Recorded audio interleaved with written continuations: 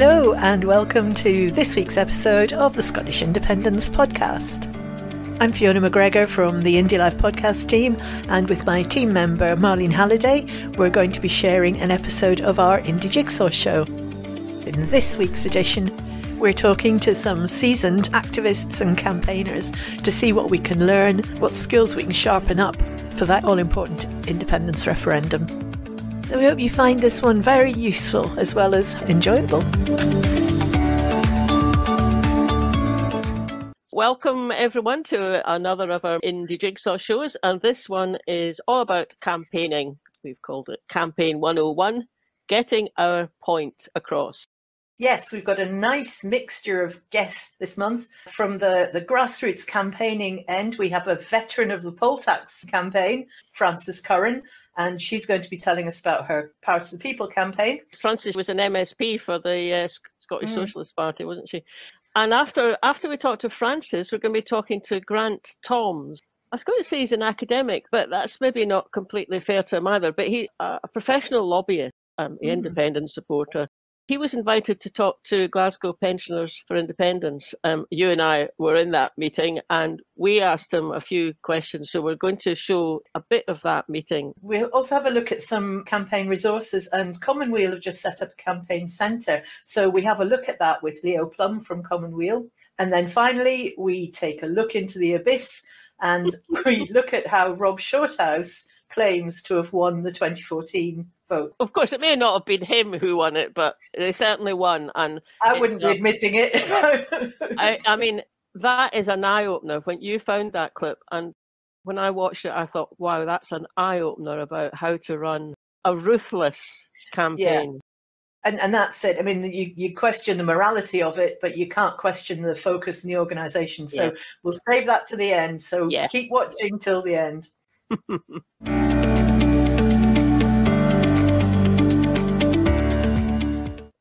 On the 12th of August, there was a demo by the new campaign group Power to the People.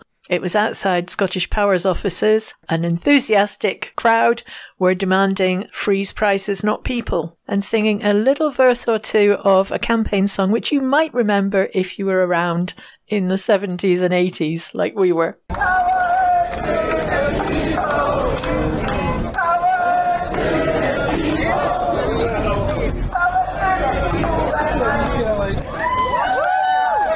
Power to the People, which is a new grassroots campaign getting going to address the current uh, energy cost crisis. And Frances Curran is very much part of that campaign. And if you'd like to watch that footage, you'll get it on our Indylive Extra YouTube channel. So let's go over to Frances now, and we asked her how she'd gone about creating this campaign. So, if you're going to build a campaign, the thing is, the energy market's a shambles. It's an absolute dysfunctional market. It's awash with public money. And every time something goes wrong or there's difficulties, then they just adjust it and they make it up. It's mm. not a proper market. It's got billions of pounds of public money in it. And so, with what's happening internationally and, and the price of, of gas, then we know that this isn't going to be resolved quickly. And if anything, the companies are just trying to manoeuvre themselves to continue to both make more profit and get public money to save them this is not going to be a short campaign. So when you're in for the long haul, we're in for a year, two years down the line, defending people against what, what the companies want to do to them. So you have to also build a camp. That's going to take a really big campaign, a grassroots campaign. We need thousands and thousands of people to be involved in this campaign. Mm-hmm. And so you need to organise action like the Scottish Power demonstration in order to bring people together and begin to get a wider and wider circle of people who get involved in the campaign. And so it was real though. We want to meet Scottish Power. In fact, we've already met them in the cafe. We came across the road to chat to us when we were setting up the oh. protest. The day before, we'd gone for a recce because we had a bit of kind of shooting and we had with, with the PA work, where should we hold it? And it had security outside it because a few groups had been inside that week. So we just, I went up to the security guy and said, listen, we're not here to do anything. We're just here to do a recce for the protest tomorrow. We got an email the next day saying, Can we meet you? And we said, Yeah, all right then. And we thought, well, it's the security coming to meet us. And then we got, we got um, the guy who's liaison with the government and the PR woman. And then we went into the energy market, and, and I'm like, you know the people we thought we were going to meet. And what they yeah. hear is that they want to discuss with us about a price freeze because oh. their boss, Steve Anderson, had already proposed this in April. And why did they propose it? Because they're terrified of what's going to happen next. And they're afraid, one, of the anger that it's going to provoke, but they're also afraid that if, with the price cap on, that they're not going to be able to pay dividends or profits to their shareholders. Remember, that's who he, he's interested in on his 1.15 million pound salary. And so it became quite an interesting discussion. We raised prepayment meters, we raised late fees and all this yeah. sort of stuff for them as well. Yeah. The bit where you cross the road into the front, did you plan that? It looked as if somebody just thought, right, that's it, we're crossing the road, and off you went. No, what happened is STV came up to us and said, we would like a shot of you over there um, and crossing the roads, and if you don't do it soon, you're going to miss the six o'clock news. so I had the megaphone and I was like, right, okay, then yeah, why not? I'm not going to tell. But yeah, we just said, right, okay, we're going now, so let's just go. No, it was totally impromptu. But what was interesting about it is once we got across the road, we were going to come back. And the protesters just decided, no, we're staying. We're only coming back. Were going to stay outside Scottish Power. So I just went back over the road and we set up the stage. And so it was all very spontaneous. There was a bit of singing, there was some chants, there was dancing at one point. You know, there was an element of fun about it, as well as what seems to be kind of rising anger, at, rightly so, I think, of um, the way people's lives are being affected by a lot of the, the policies we're dealing with just now. It did feel very sort of old school grassrootsy. You mentioned, um, I think, on the stage that you'd been part of the poll tax protests and you'd helped bring down Thatcher. Um, you know, the world of social media and everything is very, very different to what it was back then. Not paying your poll tax perhaps has less of an immediate impact on people than not paying your electricity bill. Can you use approaches that you used back then now, or is it different? The key question. I think there's two lessons from the anti poll tax movement. One is the character of the campaign. It was totally grassroots. Every anti poll tax union was set up, well, first in Scotland, because it was introduced for the first year, and then in England. And they were set up in the image of the people who lived in that community. So the Glasgow ones were different from the Moray ones, the Edinburgh ones were different from the Dumfries ones, and the West End Glasgow one was very different for the Easterhouse one. So they were all very, very different. And they did different things as well, how they engaged people. But they had that kind of autonomy. We had a national strategy and we had ways of clogging up the courts and stopping the sheriff's officers coming in in each community. But it was adaptable to a grassroots level. And I think this campaign has to look like that. I think it has to be grassroots. Committees need to be set up in every community that we can across the whole of Scotland because that's it's your neighbours you're talking to. Yeah. It's, it's, the people that you see every week at, in uh, Morrison's for me or at the bus stop in the morning when you're going to work. And so, two things happen with that. One, you can do that information exchange of how this has come up, what do you think? And the other thing is you can um, feel that solidarity because people are not sitting at home with their poll tax bill, or in this case, their energy bill and their debt, and just being like, oh, what am I going to do? What am I going to do? What am I going to do? Yeah. There's this huge movement that is supportive and also tells you not to be ashamed of debt. We're taught to be ashamed of debt. Banks are never ashamed. They borrow mm-hmm. billions and then go bankrupt and then don't pay their loans and they're like that. That's entrepreneurialism. But if ordinary people are in debt, oh, that's that's terrible. You can't manage your finances and you should be ashamed it's the grassroots bit of that movement that challenges that and makes people feel powerful instead of feeling as if they're isolated. Presumably, also within that grassroots approach, people can help one another. People can say, well, yeah, if someone's feeling anxious or, you know, so worried and everything, you know, help them to get the information, help them along to Citizens Advice Bureau, you know, just get things yeah. going. Because as you say, it's sitting at home being isolated that's the worst thing of, of all, isn't it? And well, I, I mean, sometimes in those situations, people end up you know, doing themselves harm and mental health crises yeah. of this this yeah. energy bills in particular is going to be huge. When actually getting involved in a campaign enormously benefits loads of people's mental health.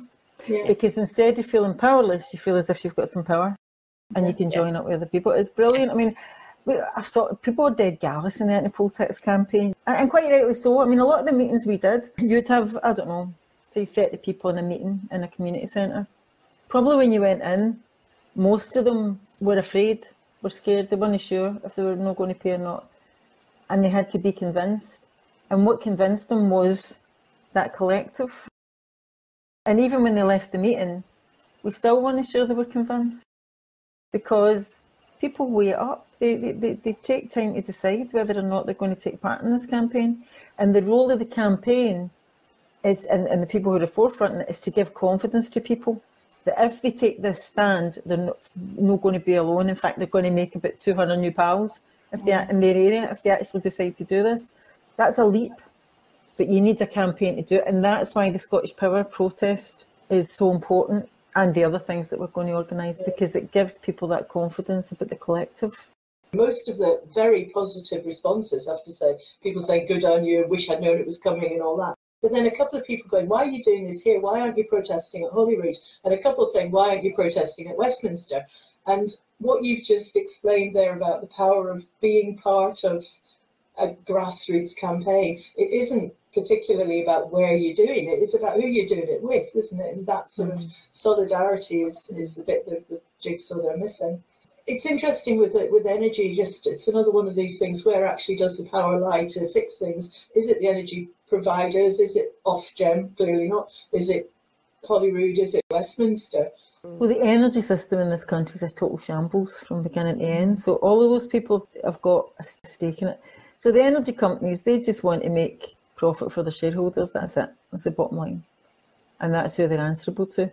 So going to Scottish Power, their shareholders have had last year the, the big five made seven point seven billion pounds and they paid it dividends.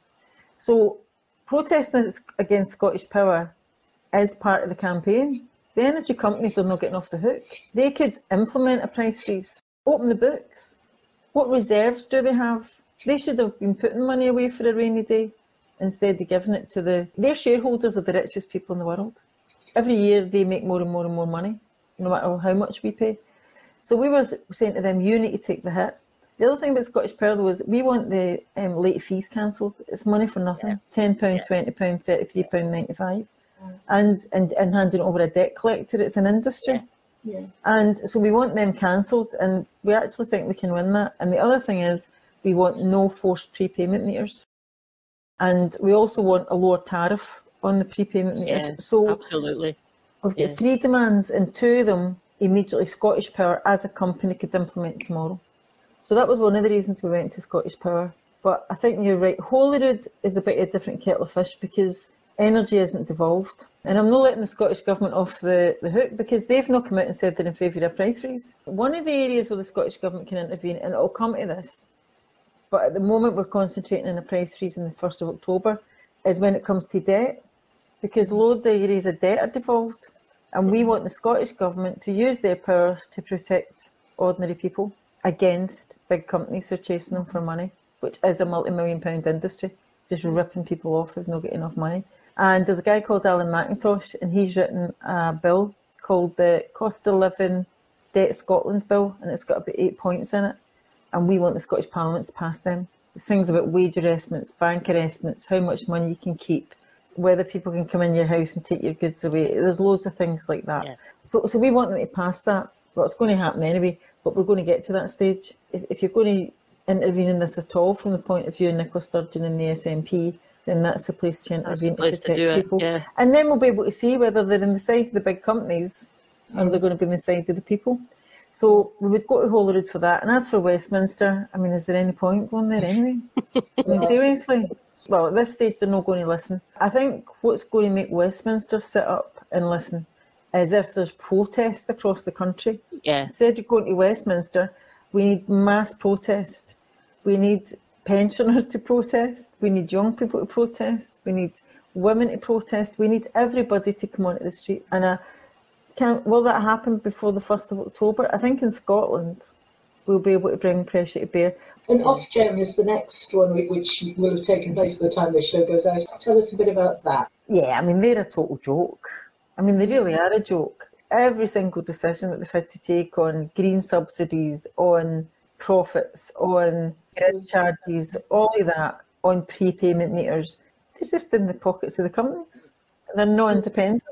They do seem to be protecting the interests of the energy companies at the expense of the consumers. Well, the standing charge is a joke. They actually, the power company said to us it's an antiquated charge. And also, we pay more in Scotland than they do in London. It has to be public ownership. I mean, our campaign's in favour of public ownership. Are the Tories going to carry through public ownership? Well, they nationalised the banks when they were in crisis, so who knows? What the energy companies are terrified of is that that they end up in that type of financial crisis and the government is going to come in and take the keys back because yeah. there's no alternative. I'm in favour of that, by the way. If they can't run energy under these circumstances, then they're getting paid a fortune to do it, then gives them back again.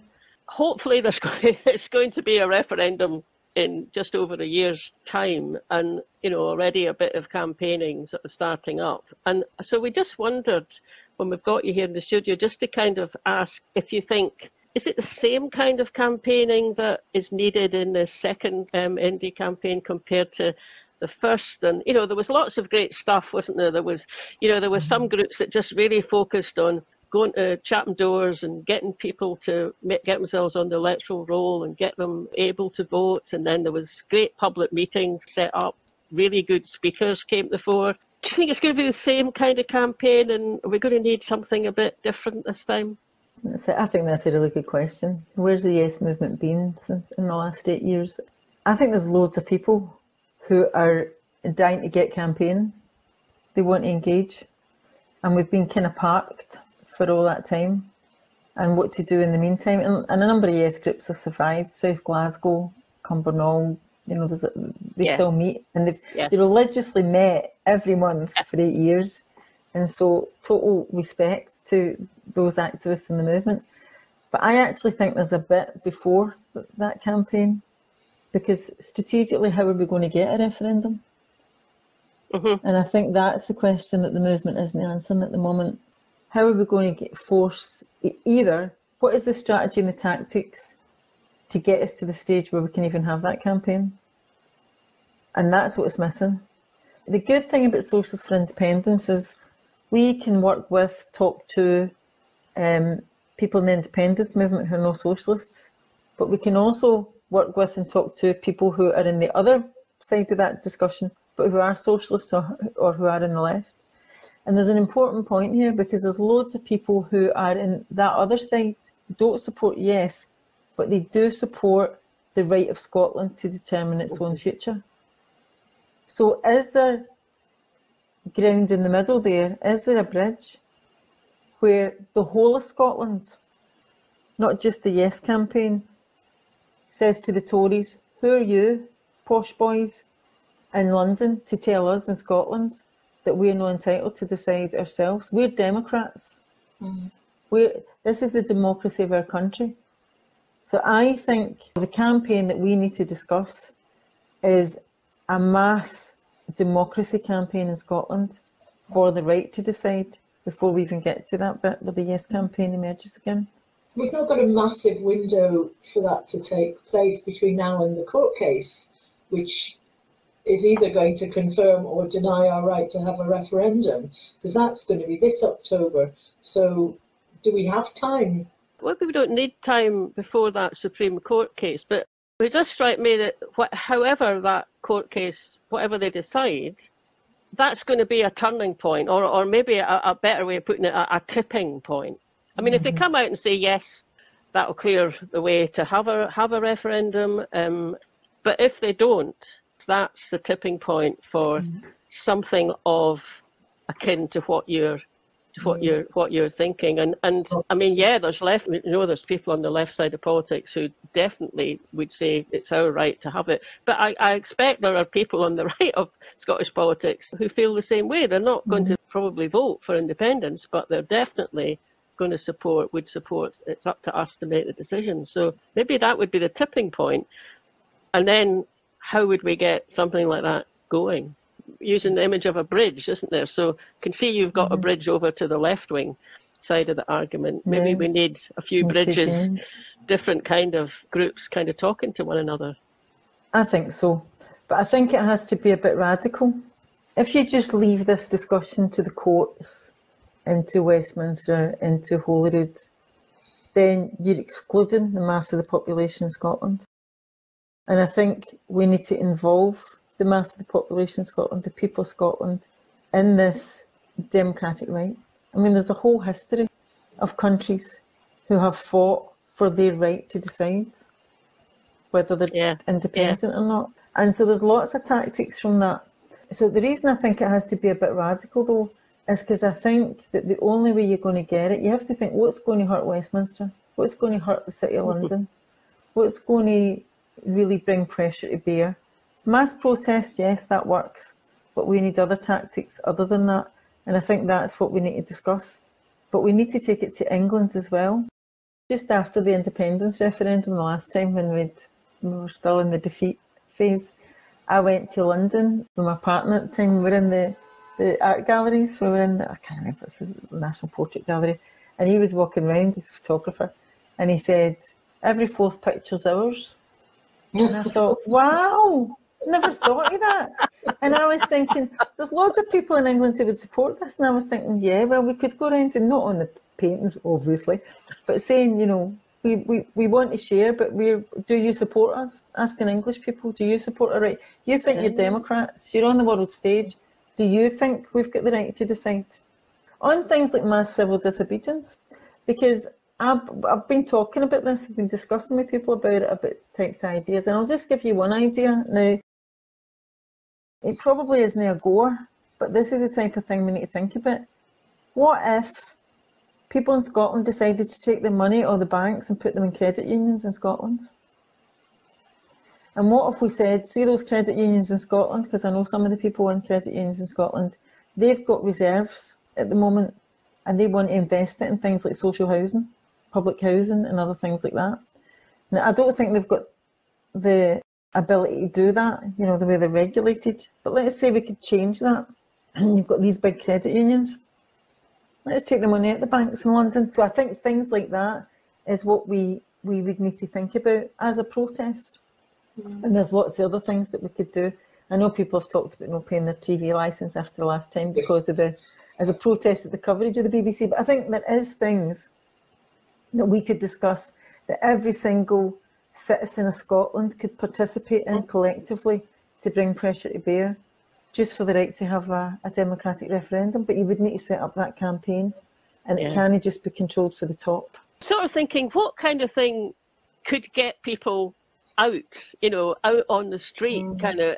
I mean, a, a, lot of it's difficult, isn't it? Because you want to affect London and you want to affect Westminster, but but maybe even just things that we could do out on the street, just to be I suppose it's being visible, Frances, you know, to get out people out there. And then, well, you know, your demonstration last week, there you were. You had STV talking to you. You had the, the folk from Scottish Power talking to you immediately because people are out there on the street. And mm. I'm just mm. wondering if there's something. I mean, it might just be something as simple as clogging up the streets around George Square in mm-hmm. Glasgow, and then the buses can't get through. Now, of course, that would annoy people, though. That would annoy some folk who are on the buses. Can you think of other things that would just spark a kind of imagination somewhere and also get picked up by mainstream media? Because that's the point, isn't it? It has to get picked up.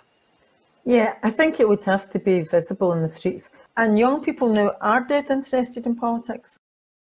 And they're very um, clued in about their rights, which is, is a good thing.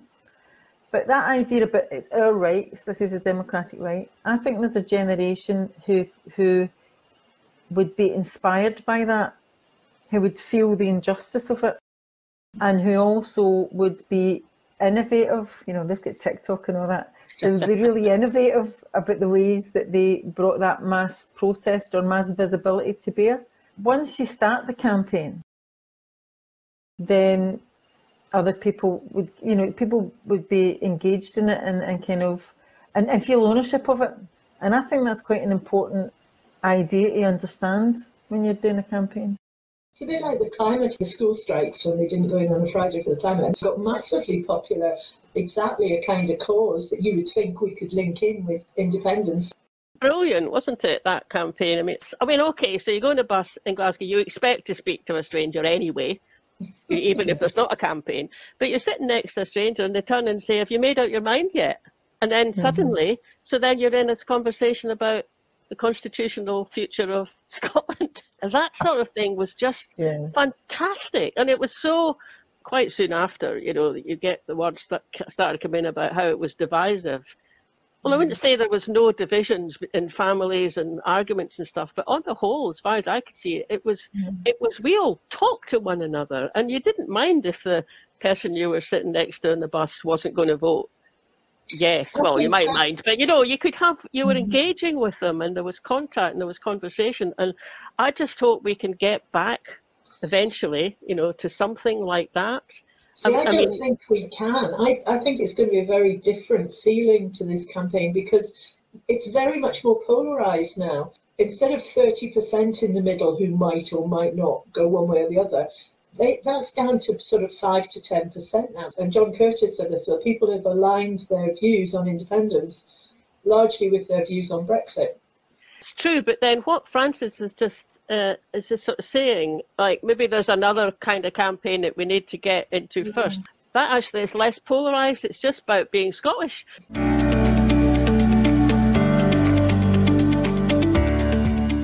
That was real grassroots campaigning, wasn't it? It, it? You could just see the link from what Frances had learned from the poll tax episode and getting people out in the streets and that sense of camaraderie. I think was was very very powerful. Yes, it was actually, and uh, yeah, it did take you back to for those of us who can have got the memory that goes that far mm. back to that point. I was just also very struck with how she talked about the need to build bridges um, and and ways of you know ways of doing that. But how do you kind of expand your reach so that you're talking to the people that you do actually have to persuade, as opposed to us talking to people who are already persuaded. Yeah, and there's common ground. I think that was a phrase used as well. So, although um, there might be people who aren't as persuaded of independence as we are, there is certainly common ground when it comes to you know the unfairness of the current energy price. Yeah, I was just very taken with that, and I mean, I, I hope that part of the People campaign, you know, gains momentum. Let's talk to our next guest, who is Grant Thoms. Grant Thoms, he's currently a part-time lecturer in um, public relations at uh, University of Stirling, and he, and he runs his own um, communications consultancy business. And you know, he's a professional lobbyist. He's worked at uh, Scottish Parliament and, and, and elsewhere. A lot of his work is with social enterprises and small businesses, and you know, helping them well, helping them get their point across to mm. whether it's Holyrood or local authorities. We thought, let's get him along and see if we can get an, a, a way in from someone like Grant to talk about campaigning for, for independence. When he talked to us, he was recovering from COVID, about of COVID. Yes, so just bear with him because his he, his voice it does get a bit croaky. A bit croaky.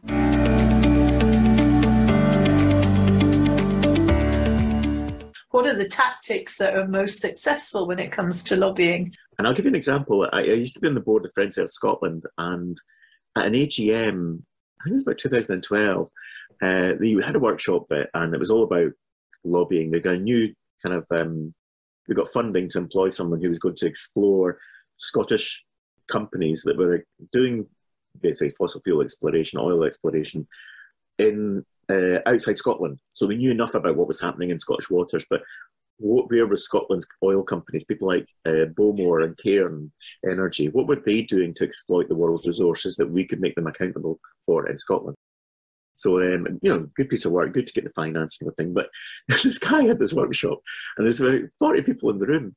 And he said, okay, stood up on a chair and said, if you believe that lobbying is bad, go and stand at that side of the room. if you believe that lobbying is good, go and stand at that side of the room. If you think it's something, you know, you can stand anywhere in the room to show roughly where you are. Well, you've never seen this mass run to the end where lobbying's bad, and I'm standing at the other end of the room. Um, and I'm going like, um, excuse me, I'm a lobbyist and I'm on your board. Um, and they're going like, ah, but you're you're lobbying for good. Mm-hmm. So, you know, I think the um, the reality is, yes, there's a lots of us who are. Um, some of them still might not like to be called lobbyists, but I've never had a problem calling myself a lobbyist because I kind of know that's what it's much easier. It says what it does in the tin. Um, public affairs executive can be interpreted so many different ways for different people lobbying or influencing um, is kind of the key to it. And the type of stuff that I've done uh, more recently has been with disability employment charities, more on a one to one basis, and more of it's around council rather than doing anything on behalf of it, um, an organisation. So the third sector is probably the biggest employer of lobbyists or people who influence in Scotland. If you were to go through the lobbying register of the Scottish Parliament, for every 100 meetings that are logged, I can guarantee you about 70% of them will be from the third sector. And part of that, I think, one, they've got a lot of things they want to campaign on, so it's quite right. Uh, I do think sometimes, though, that I, as a someone looking at the the effectiveness of influencing and lobbying, I sometimes think that a lot of people are employed by managers in the third sector charities who don't understand what lobbying is. So they get told by their new employee, well, I've got 10 meetings with 10 MSPs coming up, and I'm going to meet um, spokesperson for this, and I put in a request for the minister for that. And then it gets all logged out. Oh, that sounds really good. And it's like, but what did your meetings with 10 MSPs ever achieve? What was that about? And is it not just a, a game of having your name in the register 10 times to make it look like you're doing stuff? Um, as opposed to, well, what actually did you ever achieve? That's a lot of time and effort you put into that. How could that resource have been best used? Uh, recently, I've been working with an alcohol um, charity, uh, not directly with them again, actually doing mentoring and coaching for a, a, new member of staff who's taken on a public affairs role with them. Um, and it was looking at um, what is it that you want to achieve change by? Who's it that you need to communicate with? How have you thought about doing that? What's your message? Um, uh, all of these, these are just standards. Um, anything to do with um, any form of professional communication, mm-hmm. it's always using the basics of um, five W's and H. You know, who, what, why, where, when, and how. I think a lot of people now understand that process. Although interestingly enough, even then people do that, and then I'll say things like, oh, "So, what's your message? What is it you're trying to say?" And it's like, and they take that as an obvious, and it's like you've never, at no point in your little plan you passed on to me has that stated. There's an objective, that's great, but it's not telling me how you will communicate this objective. Um, and that's the big difference in communication is that you need to think about what we're saying and are we saying it consistently? Um, are we saying it authentically? Um, uh, are we going to get caught out as hypocrites because we're saying this, but actually we're doing something completely different? And I think, in tactics wise as well, uh, it's also looking at how to get more bangs for your buck. Now, for your buck, in this sense, it just means resource. Resource can be volunteer time as much as expense on a staff member or paying to do activities.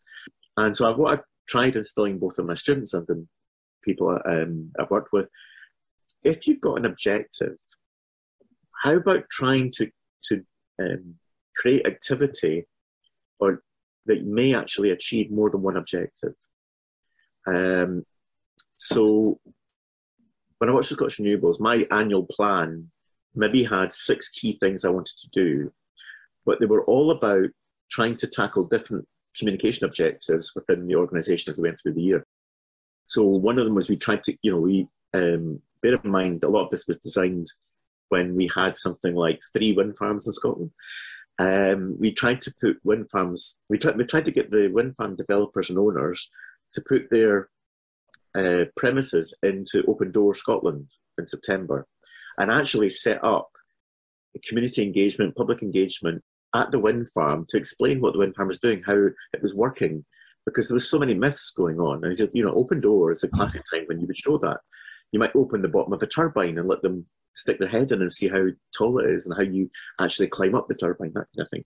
But you know, you would look at that. So that would serve community engagement, uh, helping people to understand better about wind power and you know uh, give out information about how wind power works um, and countering some of the myths about what wind power does or doesn't do.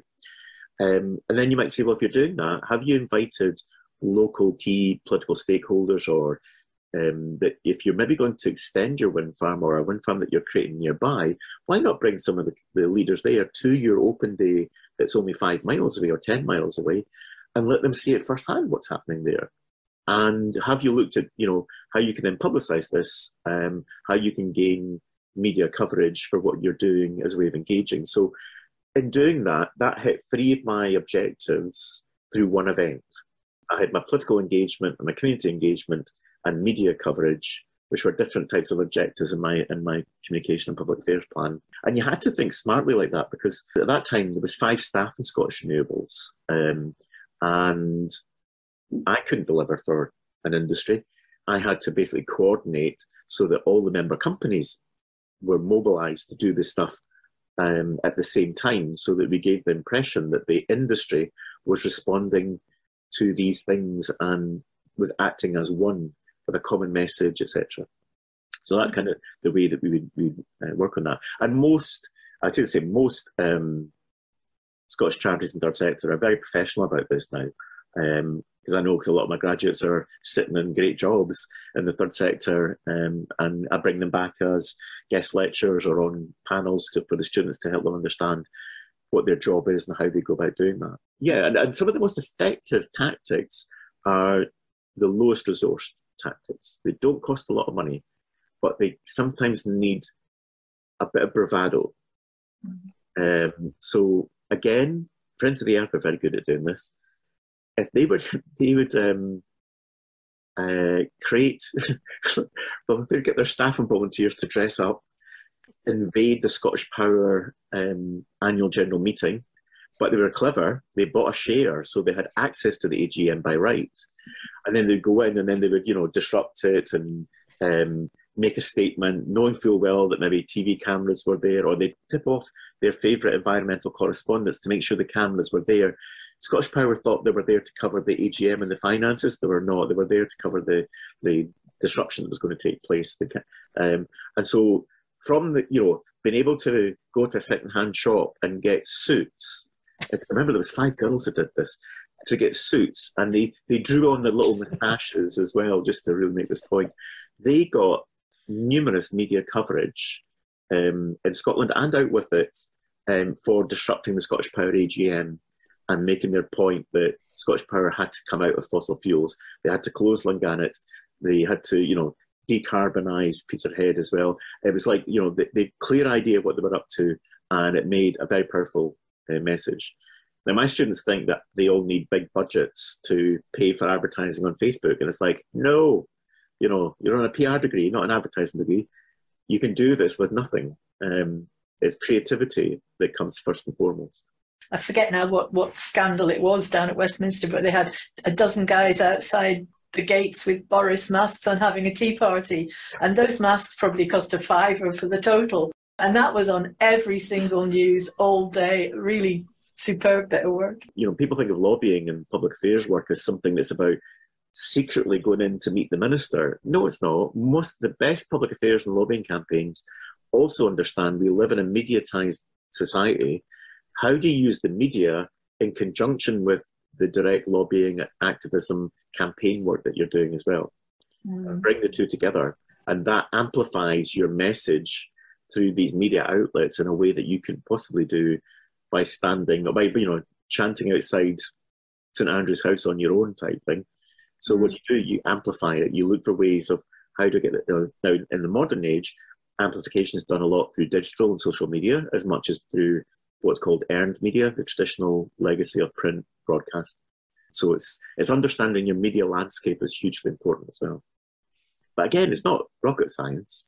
Um. Kind of look daunting. I mean, I get scared when I hear about new platforms coming out and um, oh, you know, for a while it was, oh, Gen Z need to only use TikTok for their news. And I was thinking, you know, who the hell are Gen Z and what's TikTok?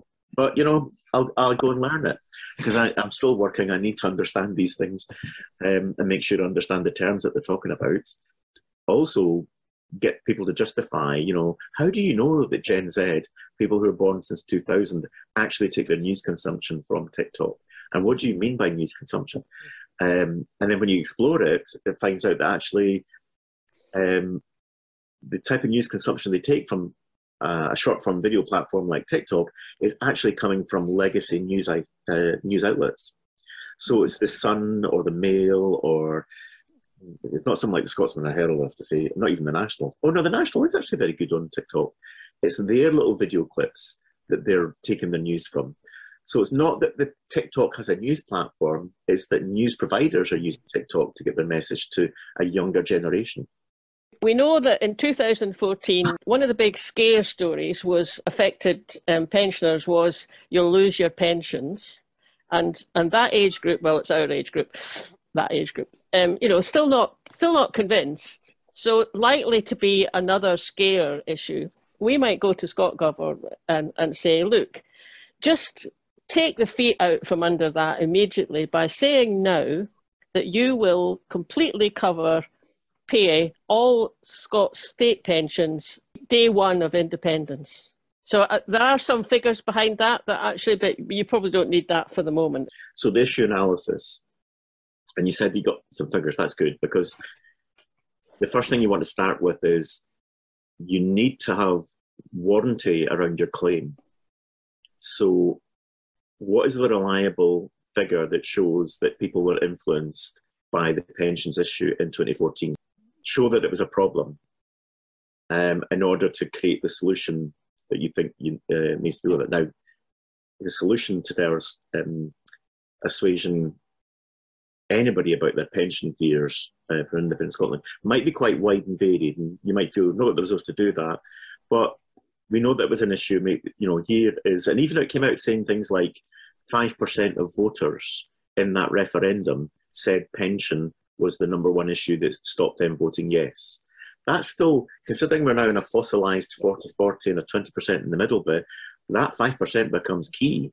Do we know as well whether that 5% was fossilised in, is now fossilised in no, in which case maybe we'll never answer this. But you want to know that because what you don't want is someone coming back to you saying, like, nah, we're not going to end with you because they're no voters and they're never going to change. So we're never going to win on that issue. And that'll be really hard to kind of hear. I would rather know the answer to that before I go into that kind of process. So I like to know what my, not just what I know, what I believe, but also how might it be countered. And I like to know that now before I start to then work out how I'm going to uh, lobby, because I need to be able to counter how people will oppose me as much as how I want to promote what I believe in. It's then going to come down to, as you said, an SNP Green coalition government. Um, so that's two parties that you want to make sure they're influenced, plus a wider independence movement who, again, will influence into those two parties, but who also have a tremendous influence within the movement, full stop. You know, the one thing that's very clear um, is Commonweal had a huge influence on the SNP manifesto for 2021. I mean, they were waving flags about how influential they had been um, and in the 2016 one to a certain extent, but I don't think they were quite so clever on how they communicated how successful they'd been on that one. But 2021, they had a huge list of all their asks, and they were ticking them off when they appeared in the SNP manifesto.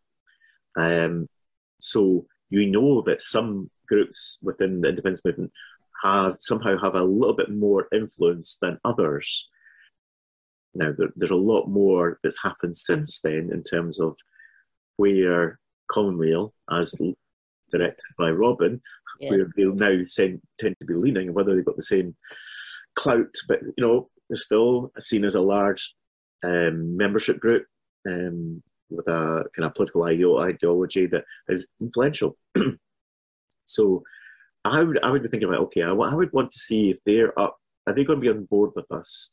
And maybe they've got a solution. Um, I'd want to understand how the Green Party works in terms of its policy making process, but also what's its views on pension and what's its thinking around that independence referendum. And the same with uh, SNP. Now, in SNP, you've got different ways into it. You've got all your usual, as you probably um, appreciate this, that um, there's the whole kind of party this, uh, policy making process through uh, party conference. But equally, you can go direct to the lead person on pensions in the Westminster Group, find out where they're at, what influence do they, you know, what do they think? Um, do they support us? In fact, they might be a good person to bring into one of your next meetings um, because they don't have executive responsibility and a diary that's jam packed through with going to things. And technically, pensions is not a devolved, so there is no minister for pensions as such uh, in the Scottish Government. So it is very much a Westminster reserved, and it would be good to hear because all the Westminster Group. I mean, I should have said as part of the intro, I work two days with Alyn Smith now, so I'm not doing so much in the way of consultancy. Um, but I'm getting an insight now into how West, Westminster yeah. working much more effectively. So I bring that into it, um, and then I'd be looking at who in the Scottish ministers is taking responsibility for planning for the referendum. You obviously be clear that Mike Russell is the political director of the independence unit in the party, is a hugely influential person. And the, we also have a pool of civil servants who are working on this. So if any of your members are civil servants, or, you know, have any connection to civil servants, then I would want to use them as well. One of the things I never said actually Here's a phrase that was used to me once. If you're having to contact a minister, it's because you failed to convince the civil servants of your solution. But contacting a minister was a last resort um, lobbying tactic, tactic that essentially go through the policy, go through the civil service, get them on board because they control government more than ministers ever have done. So it sounds a bit yes ministery, but it is true. Um, and certainly, in my experience in renewables, that's exactly what we did.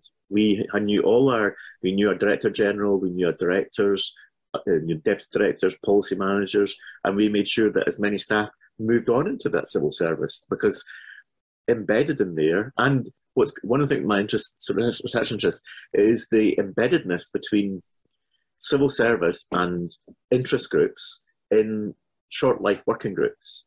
So ever a sticky, wicked um, kind of wicked issue, let's create a working group. And, you know, it's usually got a mix of external organisations representing different things.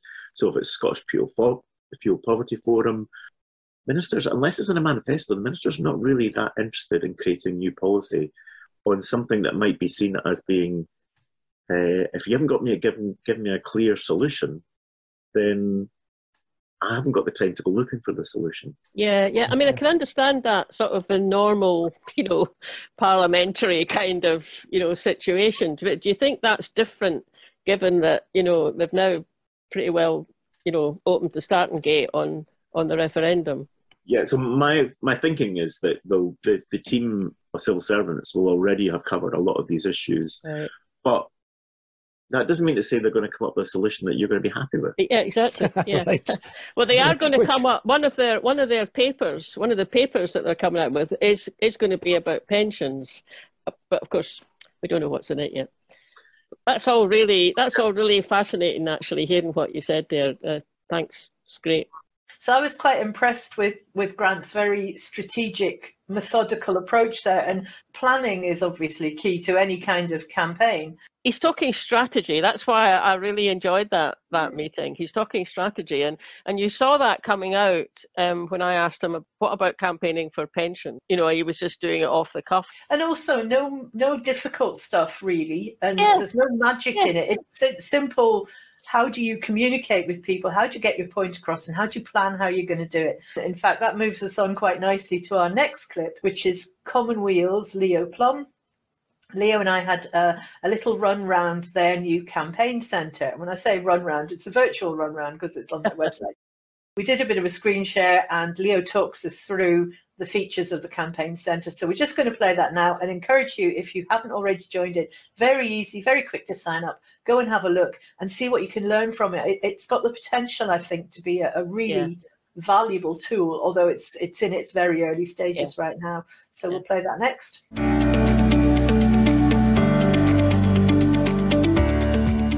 Well, the campaign center is relatively new.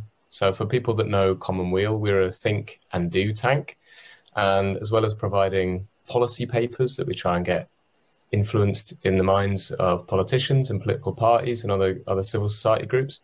A big part of what we do is um, to try and build support through local people or people that are involved in campaigns at a local level.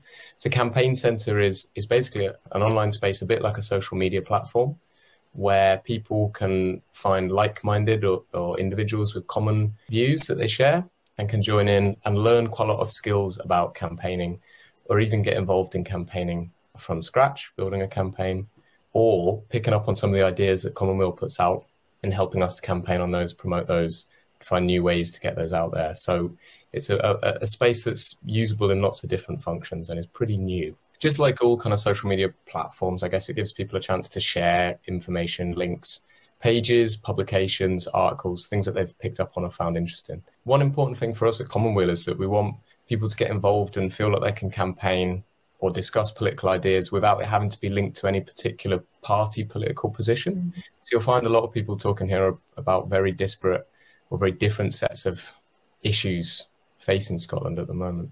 We have set it up so that as people join, they can introduce themselves and just say hello, and then be kind of put in touch with each other by their common interests. So a lot of people will join and just put up a few sentences about themselves, just saying what motivates them, what they want to see in, in the in the future in Scotland, and people can then begin to navigate and go a bit deeper. So if you've used it a few times before, or if you're completely new to it, I definitely recommend uh, one of the first things to do is to look at the courses that we have available. So we've just started a section on courses. These are brand new. In here, you've got the kind of learning particular skills. We've got a course up there, Learn How to Campaign, uh, that Robin McAlpine put together. Really nice videos that talk you through building a campaign from scratch. Oh, and eight different topics, yeah. Yeah, and there's a lot of in-depth material within those as well, so you can build your way your kind of knowledge through that. So we'll be uploading some videos to that shortly today, and then people can kind of become experts a little bit on certain aspects of the blueprint for a Green New Deal by learning in chunks. In the groups, we've got some active groups either where Commonweal have started them or where some of our supporters have started groups themselves, and that's what we really want to see. So we've got some people who've got a, a letter writing group there. We've got uh, a newly started group that just started yesterday um, in support of the strikes across Scotland. But in the future, we're going to have hopefully more and more materials for people to discover. You can see Consultation Club there. The Consultation Club that's there within Campaign Centre is just to promote a club that was started by one of our supporters, where he's getting people to discuss certain consultations, look at what articles are useful to refer to, and then encouraging people to complete them. There's loads of chances for people to start their own initiatives through Campaign Centre, and that's what we at Commonweal would really like. It's dead easy to use, and we'll be on hand within that platform to talk people through um, how to use it as well.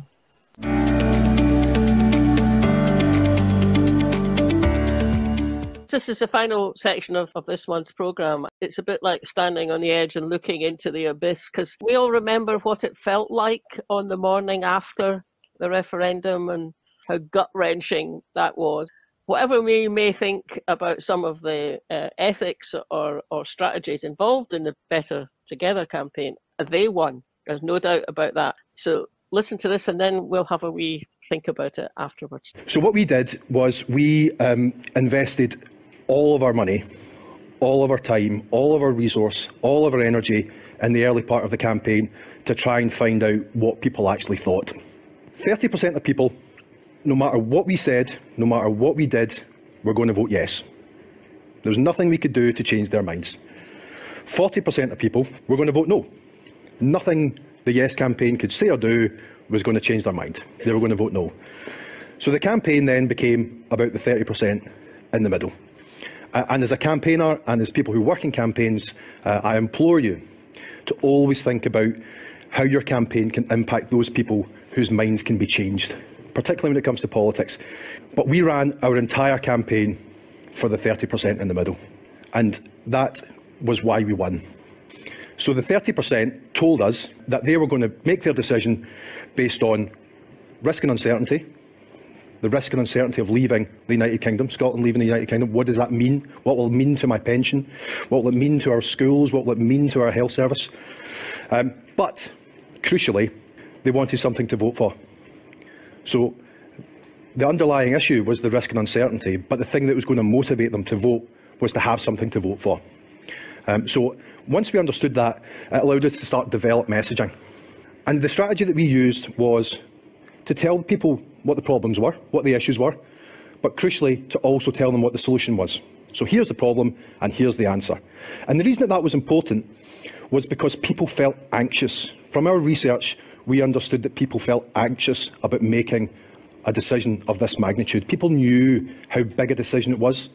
And by telling them, don't worry, here's the answer, um, was very important because it made people feel much more comfortable about voting. Um, so the message that we, we, we got to um, was this.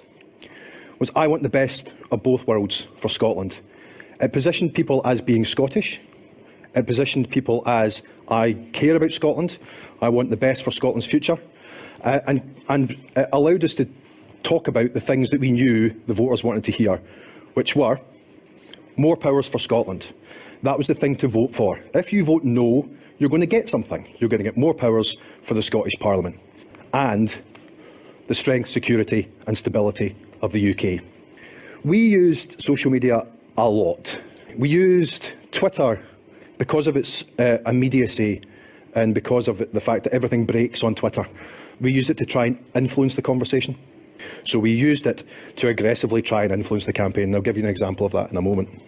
But Facebook we used differently. Facebook we used to, yes, influence the campaign, but to do it in a much slower way, to try and introduce themes and to try and introduce stories that we could, we could spread out over a longer period of time. Facebook was where the conversation ultimately was happening about the debate. Um, when we got to the last about three months of the campaign, and we were down to almost weekly and daily focus groups and polling, we kept on saying, where are you going to find the information that's going to allow you to make this decision?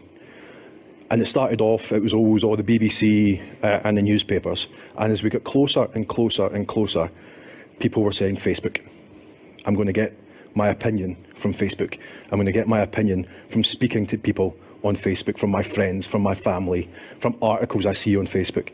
So we knew that, that actually the important thing for us to do was to try and influence that conversation uh, in a way that was slightly different from Twitter, where we were really aggressively going for it. Um, and we set up Twitter squads. You know, we had these people who were just tweeting aggressively rebutting points, you know, just getting out there and showing how confident we were in our arguments.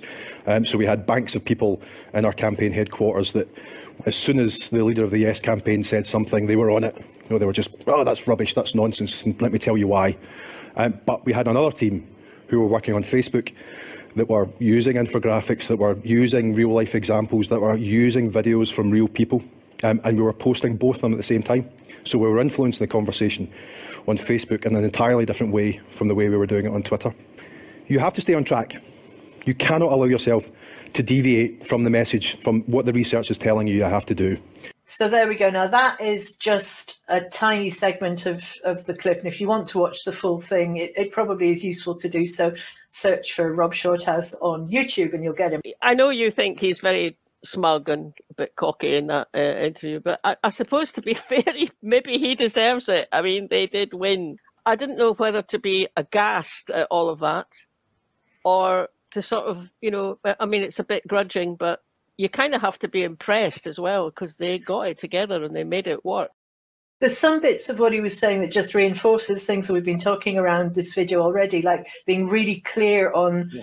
what is the message. And the thing I liked was um, run the campaign that your data is telling you to run, not yeah. the one that's easy for you to run.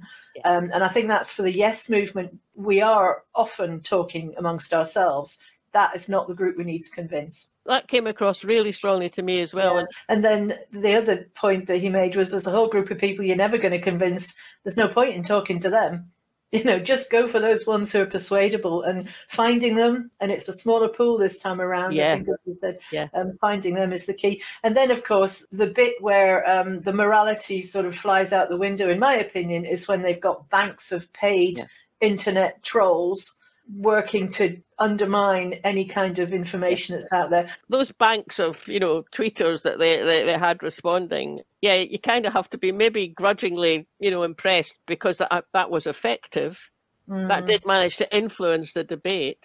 But I don't suppose those banks of people are were Scottish, and I don't suppose they had a vote. You know, they were just they were just there doing a job let's finish the program on a more positive note. Although you know, grudging respect to what they did, but we don't want a campaign like that. So no. there is a new set of information leaflets that have come out recently from Believe in Scotland. They've done a whole series of postcard-sized leaflets, haven't they? I know you've been out and about. Going out this afternoon if the rain stops. That's good. So they're all from Believe in Scotland, and um, I, I, think um, I think there's one in particular that's very canny. It doesn't mention independence. It just talks about getting a decent pension for, for, for Scots.